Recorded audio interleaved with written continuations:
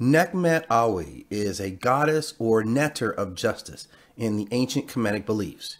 She is locally known from Hermopolis, which was a major city in antiquity located near the boundary between Lower and Upper Kemet. The name itself for the city is derived from the Ogdoad, associating it with the eight creator beings who resided in the city.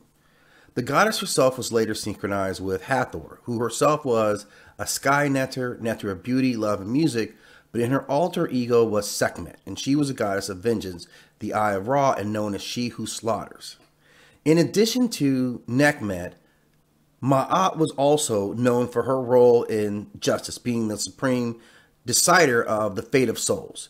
In Roman culture, it was Justitia. In Hinduism, it was Durga. In Sumerian mythology, it was Inanna, who all stood for justice. In the Norse pantheon, it was considered to be Balder. So, female energy has more often been associated with justice across multiple cultures who personify justice as a deity.